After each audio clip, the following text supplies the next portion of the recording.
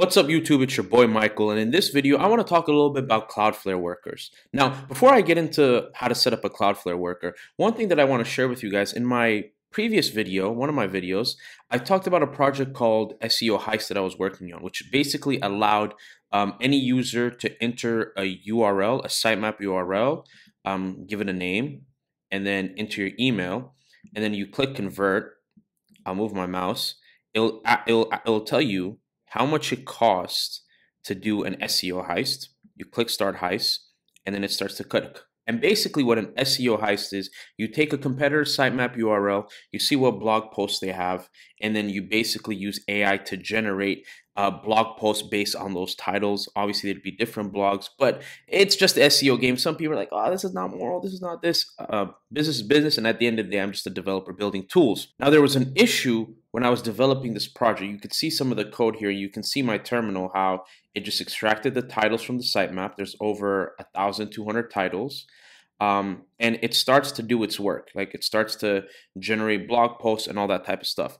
But one thing um, issue I started to experience is that Vercel in production would time me out because uh, the function that generates blog posts takes a lot of time, right? And I'm using Vercel's hobby tier, so I'd have to pay um, to have it work for I believe like a much higher tier.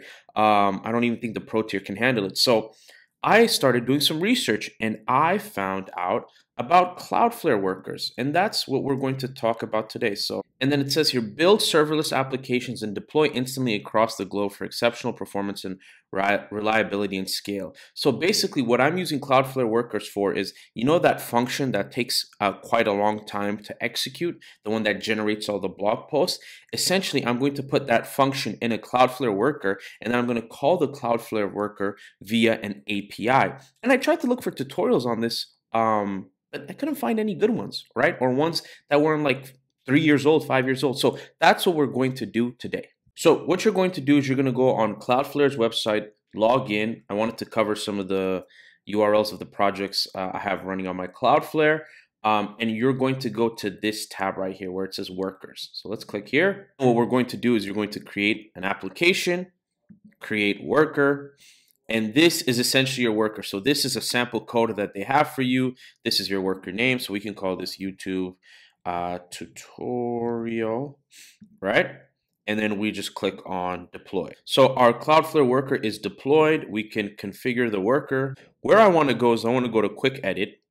And this is where all the sauce, all the magic happens. So you can see here, I have a little panel where I can test my worker out. I hit send. You see that the response is hello world. And just to make sure that this works, uh, subscribe to Ras Mic's YouTube channel.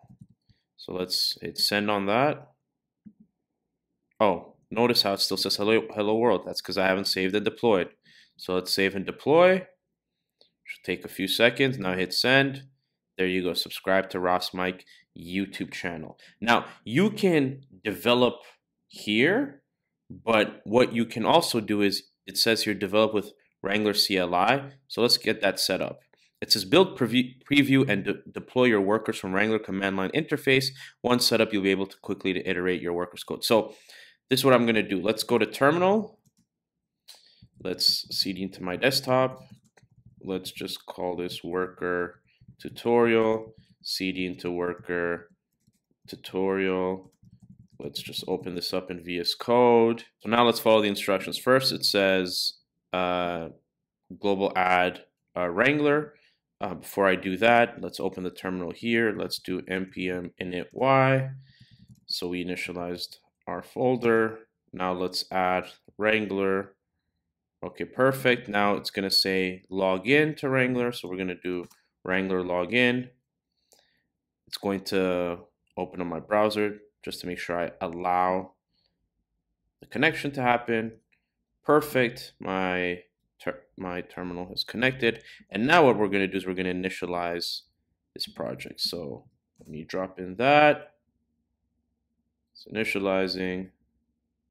Oh, I didn't even have to do npm init. So excuse me on that.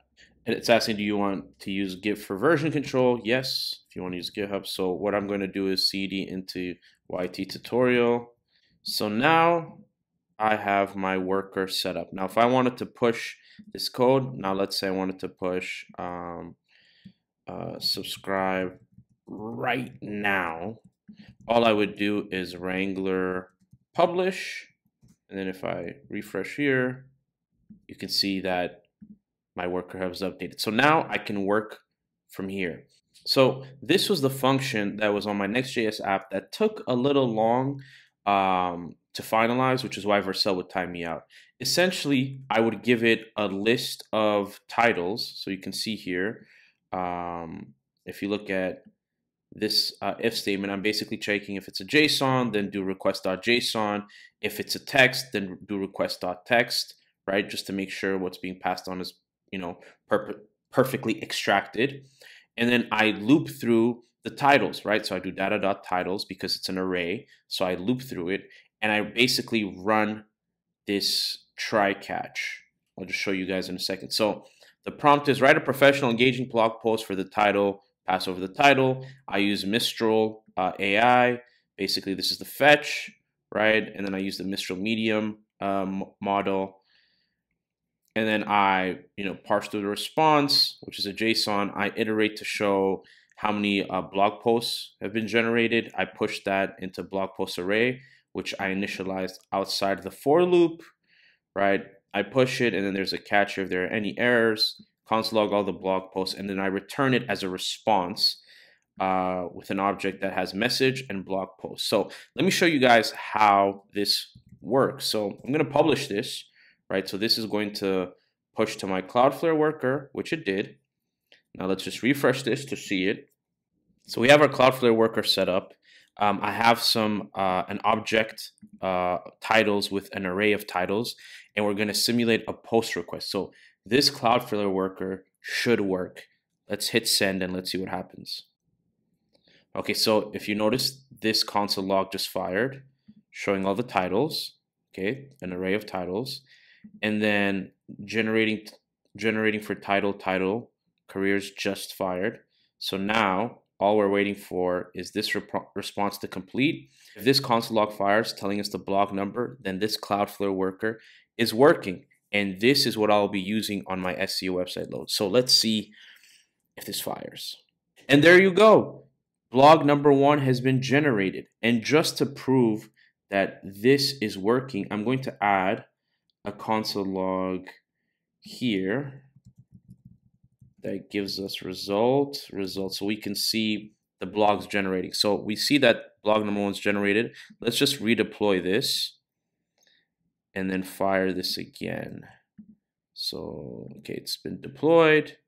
Let's clear our console. Let's send this again. And brothers and sisters, there you will have it. The first blog has been generated. So now I can leave this function and let it continue to do its thing. And then once it's done, it will return a response that my Next.js website will be able to capture and thus my SEO heist website working smoothly. Now to give you a little visual view, I've turned it to a dashboard where like now you can um, you know access stuff more easily. If I go to Heist and I click access, it's just going to give me a list of the blog posts. I'm still not sure how to deliver the data or like the blogs to the end user. Right now, this is what I have. And then if you want to up your credits, just click that, top up credit or buy credits here.